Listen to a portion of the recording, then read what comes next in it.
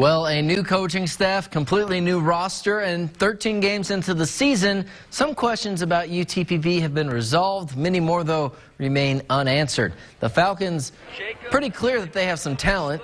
They lead the Lone Star Conference with 90 points per game on the offensive end.